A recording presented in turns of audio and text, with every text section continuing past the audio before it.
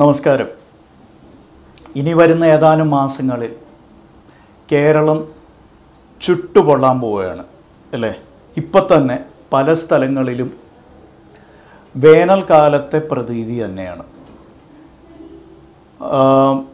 താപമാനം ഏകദേശം മുപ്പത്തിയാറ് മുതൽ നാൽപ്പത് ഡിഗ്രി വരെ ആയ സ്ഥലങ്ങൾ ഇന്ന് കേരളത്തിലുണ്ട്. ഫെബ്രുവരി ഇരുപത്തെട്ടായേ ഉള്ളൂ. മാർച്ച് മാസം തുടങ്ങുന്നേ ഉള്ളൂ.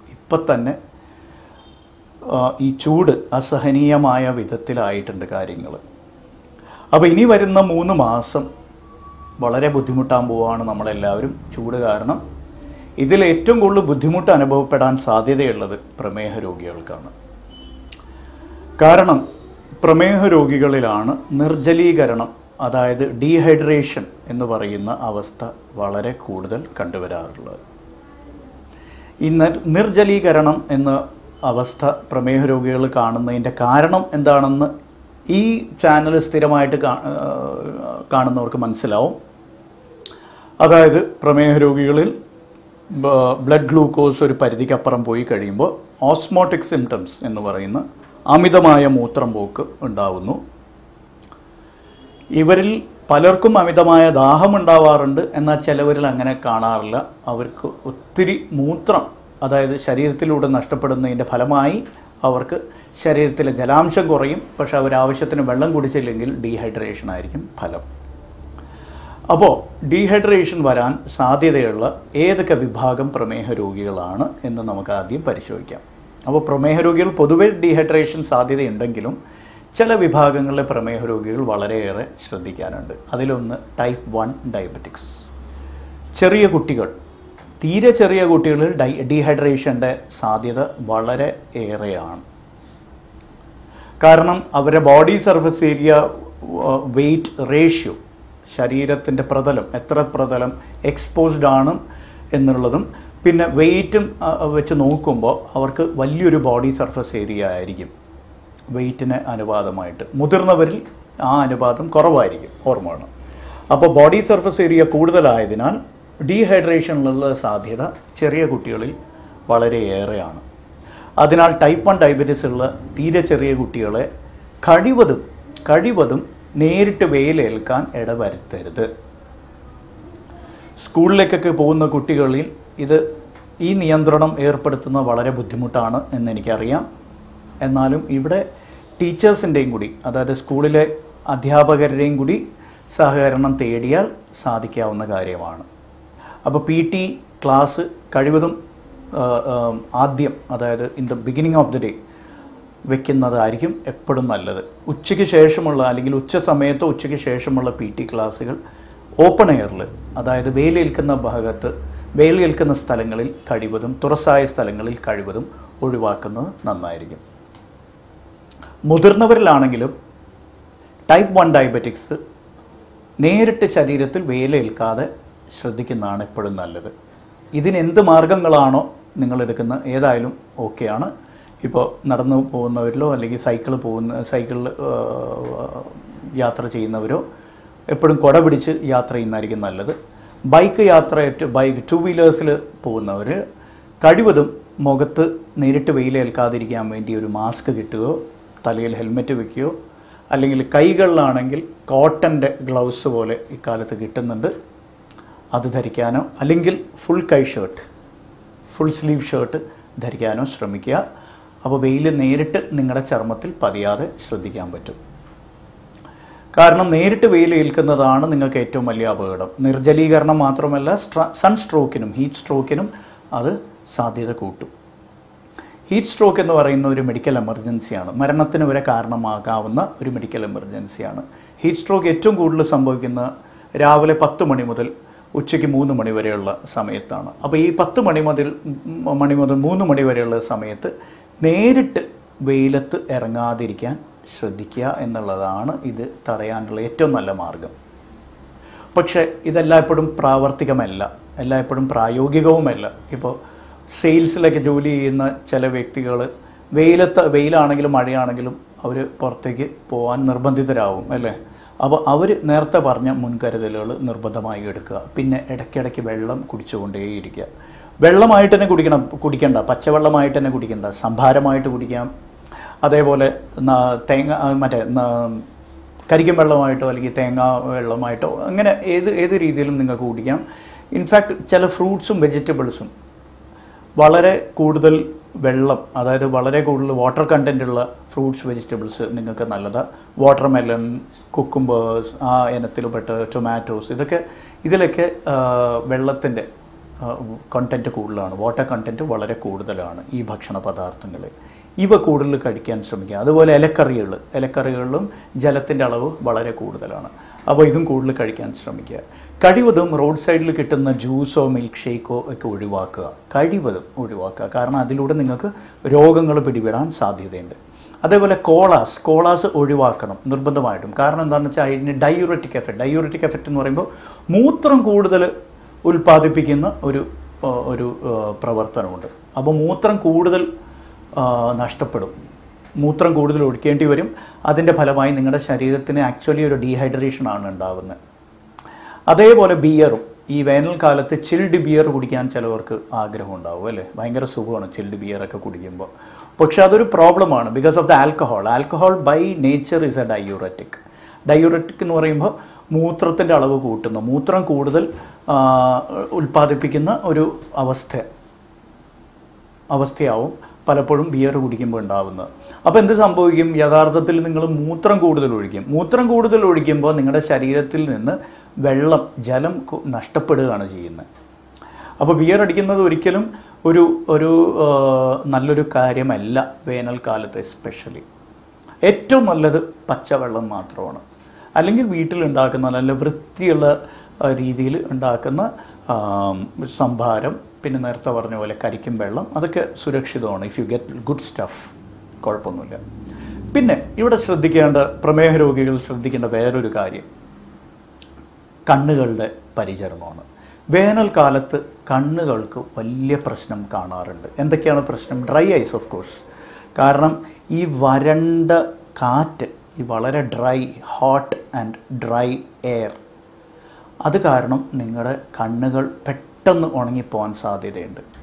ഉണങ്ങിയ നേത്രങ്ങൾ രോഗങ്ങളെ വിളിച്ചു വരുത്തും. കാരണം നോർമലി ലാക്രിമൽ സെക്രീഷൻസ് നമ്മുടെ കണ്ണിന്റെ തനതായ എന്താ കണ്ണുനീർ.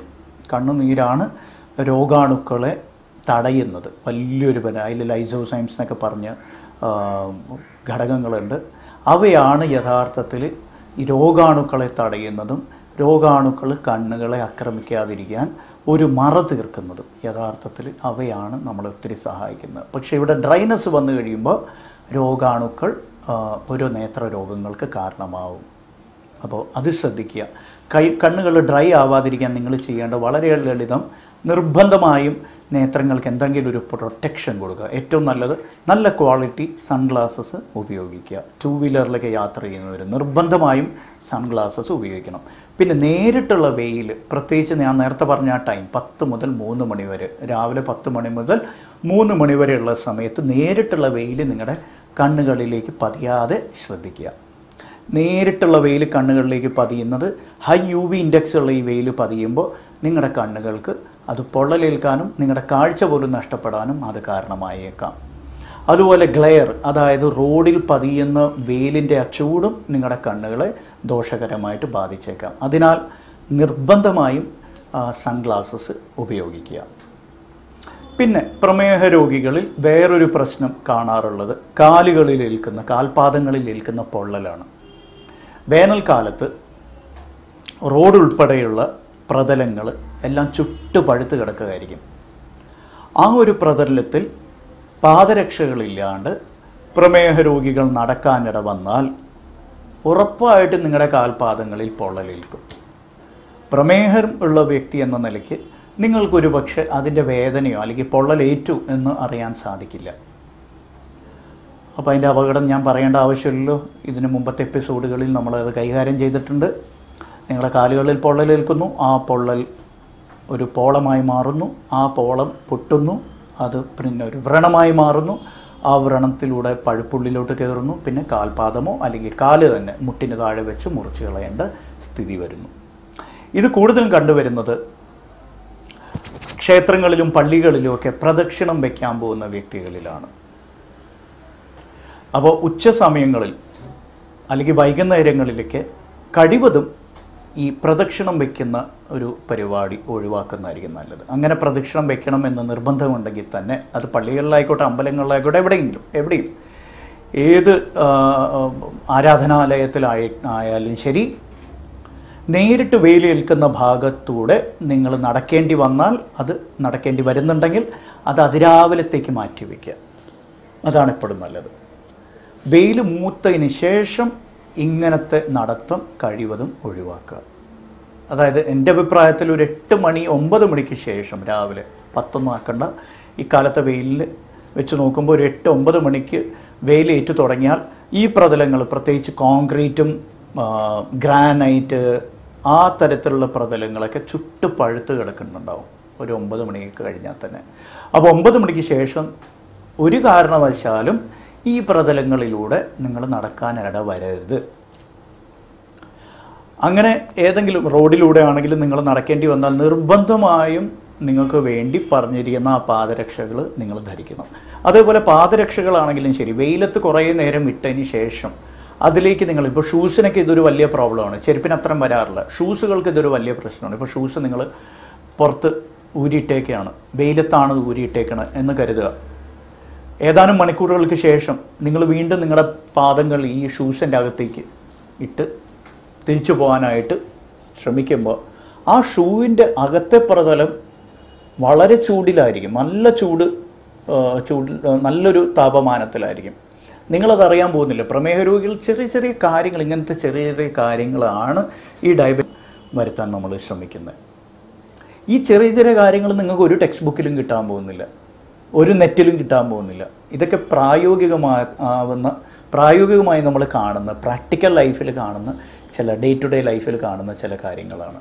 അപ്പോൾ റിമെമ്പർ നിങ്ങൾ ആ ഷൂസ് കുറേ നേരം വെയിലത്തിട്ടതിന് ശേഷം അതിലേക്ക് കാലുകൾ കയറ്റി വീണ്ടും തിരിച്ചു പോകാൻ നേരത്ത് നിങ്ങളുടെ കാലുകൾക്ക് പൊള്ളലേൽക്കാം. പ്രത്യേകിച്ച് മെറ്റൽ പാർട്സ് ഒക്കെ ഉണ്ടെങ്കിൽ വളരെ അപകടം പിടിച്ച ഒരവസ്ഥയാണത് സൂക്ഷിക്കുക. അപ്പോൾ ഷൂസ് ധരിക്കുന്നവർ ഈ ഒരു കാര്യം ശ്രദ്ധിക്കാൻ ശ്രമിക്കുക കേട്ടോ. അപ്പോൾ വേനൽക്കാലത്ത് ഇങ്ങനത്തെ അപകടങ്ങൾ പതിയിരിപ്പുണ്ട് പ്രമേഹ രോഗികൾക്ക് എന്ന് ഓർമ്മ വയ്ക്കുക ഏറ്റവും പ്രധാനം ലൈഫ് ത്രട്ടണിങ് എന്ന് വേണമെങ്കിൽ നമുക്ക് പറയാവുന്നത് സൺസ്ട്രോക്ക് അല്ലെങ്കിൽ ഹീറ്റ് സ്ട്രോക്ക് അതിന്റെ പ്രധാന കാരണം ഡീഹൈഡ്രേഷനാണ് ആൻഡ് ഡീഹൈഡ്രേഷൻ പെട്ടെന്ന് തന്നെ സംഭവിക്കും. ഡീഹൈഡ്രേഷന് പലപ്പോഴും ലക്ഷണങ്ങൾ വളരെ വേഗമായതുകൊണ്ട് വ്യക്തമല്ലാത്തതിനാൽ പലർക്കും അതിന്റെ ലക്ഷണങ്ങളൊന്നും തിരിച്ചറിയാൻ സാധിക്കാറില്ല. ഓർമ്മ വേണം അത് ബുദ്ധിമു അത് വളരെ അപകടം പിടിച്ചൊരു അവസ്ഥയാണ്. അതിനാൽ ദാഹം ഉണ്ടെങ്കിലും ഇല്ലെങ്കിലും നിങ്ങൾ ഇടയ്ക്കിടയ്ക്ക് വെള്ളം കുടിക്കണം. എന്തെങ്കിലും ജലാംശം നിങ്ങളുടെ ശരീരത്തിലേക്ക് കയറ്റിക്കൊണ്ടേയിരിക്കണം. കേട്ടോ? പിന്നെ ഈ പറഞ്ഞ പോലെ കണ്ണുകൾ കണ്ണുകളുടെ പരിചരണം വളരെ പ്രധാനപ്പെട്ടതാണ്. മൂന്നാമത്തെ കാൽപാദത്തിന്റെ പരിചരണം. പിന്നെ ഈ ഡീഹൈഡ്രേഷനോ അതായത് ജലാംശം കുറയുന്നതിന്റെ പ്രശ്നമായിട്ട് വേറൊരു ഒരു അനുബന്ധ പ്രശ്നം കാണാറുള്ളത് എന്താണെന്ന് വെച്ചാൽ യൂറിനറി ട്രാക്ട് ഇൻഫെക്ഷൻസ് അതായത് മൂത്രകോശത്തിൽ പഴുപ്പ് അണുബാധ കാണാറുണ്ട്. എസ്പെഷ്യലി ചില തരത്തിലുള്ള മരുന്നുകൾ ഇപ്പോൾ S G L T two inhibitors എന്ന് പറഞ്ഞൊരു മരുന്ന് ഒരു ഒരു വിഭാഗം മരുന്നുകളുണ്ട്. അവ മൂത്രത്തിലൂടെ ഈ ഗ്ലൂക്കോസ് എക്സസ് ഗ്ലൂക്കോസ് പുറത്തേക്ക് തള്ളിവിടുന്ന രീതിയിലാണ് പ്രവർത്തിക്കുന്നത്. അപ്പോൾ ജലാംശം നഷ്ടപ്പെടുകയും ചെയ്യും അതിന്റെ കൂടെ തന്നെ. അങ്ങനത്തെ രോഗികൾ ഈ S G L T two gliflozins എന്ന് അവസാനിക്കുന്ന പേരായിരിക്കും ഇവയൊക്കെ എല്ലാത്തിനും. ഡാപ്പാഗ്ലിഫ്ലോസിൻ അല്ലെങ്കിൽ കാനാഗ്ലിഫ്ലോസിൻ അല്ലെങ്കിൽ എംപാഗ്ലിഫ്ലോസിൻ എന്നൊക്കെ പറയുന്ന പേരുകളായിരിക്കും ഇവയ്ക്ക്.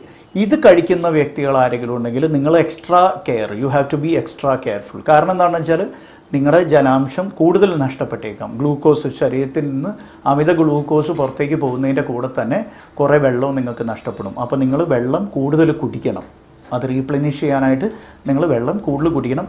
ആൻഡ് ഗ്ലൂക്കോസിന്റെ അളവ് കൂടുതലും വെള്ളത്തിന്റെ അളവ് കുറഞ്ഞാലും വേറൊരു പ്രശ്നം യൂറിനറി ട്രാക്ട് ഇൻഫെക്ഷൻ അല്ലെങ്കിൽ ഫംഗൽ ഇൻഫെക്ഷൻ നിങ്ങൾക്ക് വരാൻ സാധ്യതയുണ്ട്. അപ്പോൾ ഈ കാര്യങ്ങൾ ശ്രദ്ധിക്കുക. ഒന്ന് നോട്ട് ചെയ്ത് വെക്കുക വേണമെങ്കിൽ. അപ്പോൾ അടുത്ത മൂന്ന് മാസം സൂക്ഷിക്കുക. വേനൽക്കാലമാണ്. വീണ്ടും വീണ്ടും നിങ്ങൾ ഓർമ്മിപ്പിക്കുന്നു. നന്ദി നമസ്കാരം. നിങ്ങൾ ഈ കണ്ട വീഡിയോ നിങ്ങൾക്ക് ഇഷ്ടപ്പെട്ടെങ്കിൽ ദയവായി നിങ്ങളുടെ ബന്ധുക്കൾക്കും നിങ്ങളുടെ സുഹൃത്തുക്കൾക്കും ഇത് കൈമാറുക. അവരുമായിട്ട് ഇത് ഷെയർ ചെയ്യുക. ഇതിന് സബ്സ്ക്രൈബ് ചെയ്യാൻ അവരെ പ്രേരിപ്പിക്കുക. കൂടെ ഇതിന്റെ കൂടെ കാണുന്ന ആ ബെൽ ഐക്കൺ ഒന്ന് ക്ലിക്ക് ചെയ്യാനും പറയുക. വളരെ നന്ദിയുണ്ട്. നമസ്കാരം.